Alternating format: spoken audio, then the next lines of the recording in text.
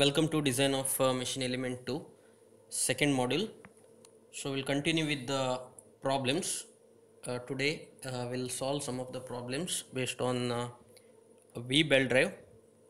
So in uh, V belt uh, we have uh, two important types of uh, problem.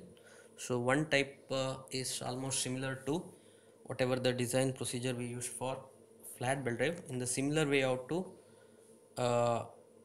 we have to follow another type of uh, V belt drive so that what we discuss in the uh, design procedure standard design procedure is nothing but uh, selection of uh, belt cross section such as uh, A, B, C, D and uh, E from the manufacturer's catalog. So we have two important types of problems but these two types are very important from the exam point of view. First will solve one problem. So that is uh, similar to uh, flat belt drive uh, type of uh, problems. So i'll read the problem first. Two shafts 1 meter apart are connected by a v belt to transmit 90 kilowatt at uh, 1200 rpm of a driver pulley of uh, 300 mm effective diameter. The driven pulley rotates at 400 400 rpm the angle of groove is 40 and question of friction belt and the pulley rim is uh, 0.25 the area of cross section is uh, 400 mm square and uh, permissible stress is 2.1 megapascal. Density of the belt material is uh, 1100 kg per meter cube. Calculate the number of belts required and length of belt. Here we have to calculate that is uh, number of belts. The cross section of the belt in uh, V belt is always uh, trapezoidal cross section so that's why the area of the belt that will be different. So we cannot uh, use uh, uh, same as flat belt drive because in flat belt drive the cross section is rectangular. So area formula is width into thickness but in trapezoidal we have to use area of trapezoidal cross section so now this is the nature of the problem. So that is of type 1 problems. So usually uh, they will mention which type of uh, belt. Suppose uh, if they are not mentioning uh, v belt in the problem then usually they will mention angle of groove. If angle of uh, groove is there means it is always v belt. So you have to assume that it is v belt. So there will be two important types of uh, problems. One is flat belt, and the other one is V belt. So now we'll see uh, how to solve these problems. So first uh, we have to know about what are the given parameters. So uh, two shafts one meter apart. One meter apart means that is the center distance is between the uh, two shafts. So this is nothing but one meter. So C value is 1 meter. 1 meter is nothing but 1000 millimeter. So are connected by a V belt. So it is uh, connected by belt to transmit 90 kilowatt power. So in order to transmit 90 kilowatt, so there are uh, which drive V belt drive we are going to use at 1200 rpm of a driver pulley. The driver pulley rotates at 1200 rpm and uh, pulley of 300 mm effective diameter. So driver pulley means small letter d. So small letter d value is given that is uh, uh, 300 millimeter and uh, driven pulley rotates at 400 rpm. So n2 is 400 rpm. The angle of groove is 40 degree. So this is uh, a new term in uh, V belt. So that is denoted by alpha. So that value is 40 degree and always this value you have to keep in degree. And the coefficient of friction between the belt and pulley so that also given that is uh, 0.25 the area of cross section is uh, 400 mm square. Area is given that is for uh, trapezoidal cross section. Permissible stress of the belt is uh, sigma d value that is 2.1 newton per mm square. So megapascal is nothing but newton per mm square and uh, density of the belt material is given here. So that is uh, 1100 uh, kg meter cube. So that is rho. Calculate number of belt. How many number of belts you want that you have to calculate? That is uh, n dash small letter n dash and the length of belt you have to find out. So we'll see uh, how to solve this problem. First one you need to find out unknown diameter. Same step uh, you have to follow what we followed in uh, design of uh, flat belt so first step n1d equal to n2d so n1 is speed of rotation of smaller pulley. D is uh, smaller uh, pulley diameter. N2 is speed of rotation of a larger pulley. And d is speed of sorry diameter of larger pulley. So n1 value and n2 value and d value is given. So you have to calculate is the driven pulley diameter or larger pulley diameter. So 1200 into 300 400 into d. So d value will be 900 millimeter. So this is the unknown diameter of larger pulley. Now coming to the velocity. So velocity you can uh, use this equation. V equal to pi d into n1 divided by 60000 or pi into d2 D capital letter D into N2 divided by 60,000 so any one uh, any equation you can use you'll get uh, same answer. That is velocity. Now I'll use equation uh, this one. So you can see here pi into D. D is nothing but uh, diameter of uh, smaller pulley. And 1200 is the speed of rotation of uh, smaller pulley divided by 60,000 so you'll get 18. 85 meter per second. So that is about uh, velocity. Now we'll move forward to the step number 3 that is you need to find out capacity. You have to calculate. So that is uh, e to the power mu 1 l. You have to make change here. Mu 1 l theta l. Similarly e to the power mu 1 s theta s. So mu 1 is stands for apparent coefficient of friction so whatever the procedure we followed in the design of uh, flat belt drive similar procedure you have to follow here also.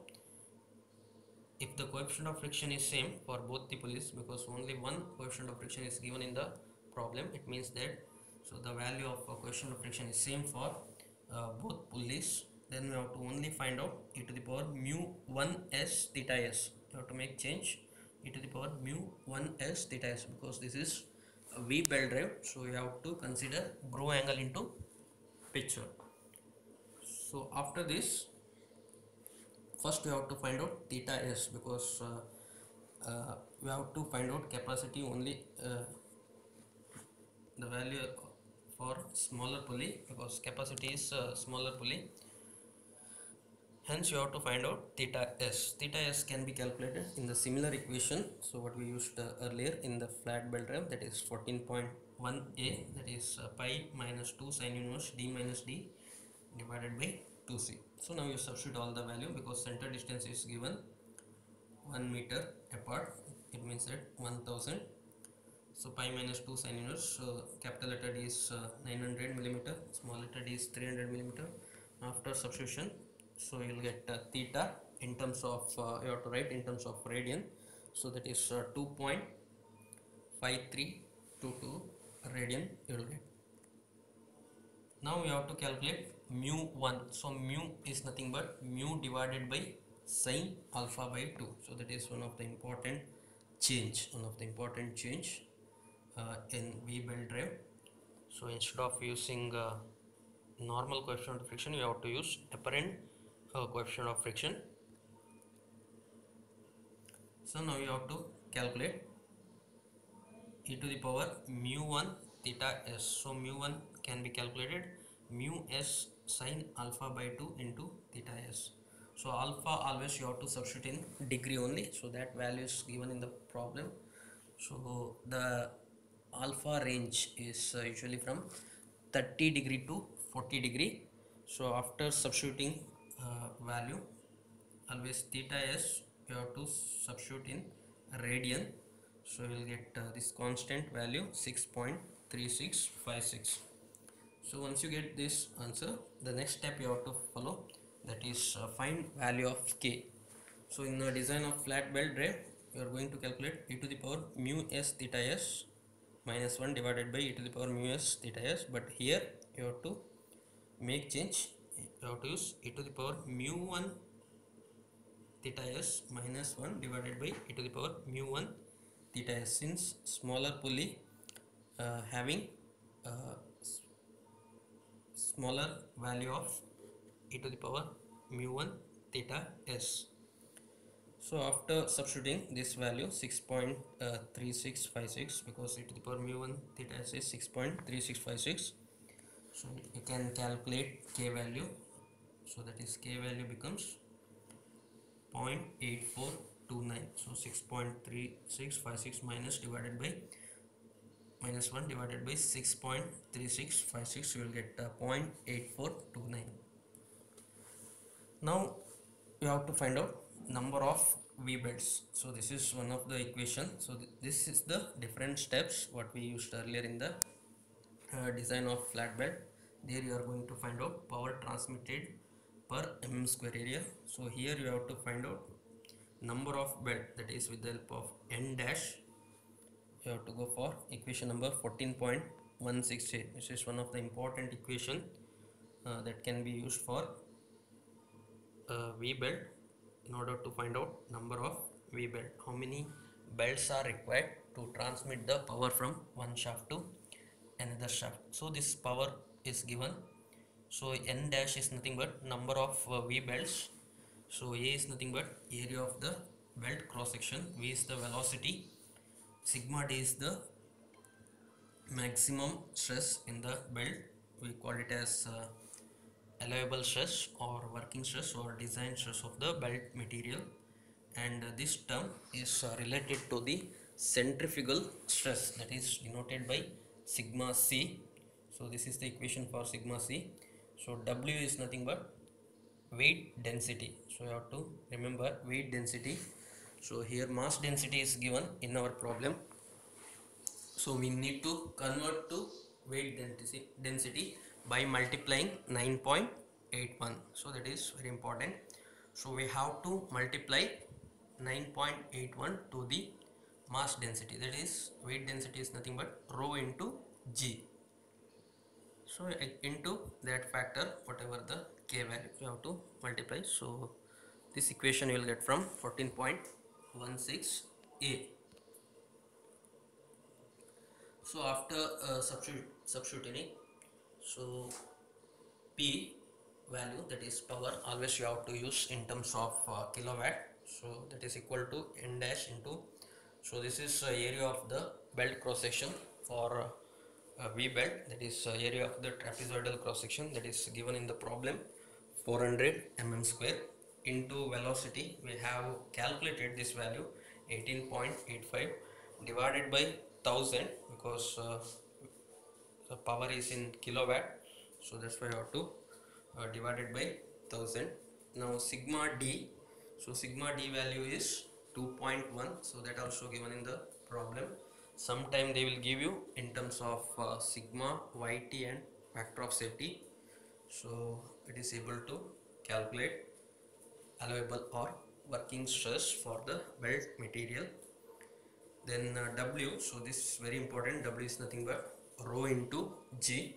So rho is given uh, 1100 uh, kg per meter cube. So you have to convert into newton per meter cube. So that can be uh, convert uh, you can convert that value by multiplying 9.81 so if you multiply with uh, velocity square that is 18.85 square so divided by 10 to the power 6 into g and this entire whatever the term inside a bracket is so we already calculated that one. So that is 0.8429 so you can substitute here.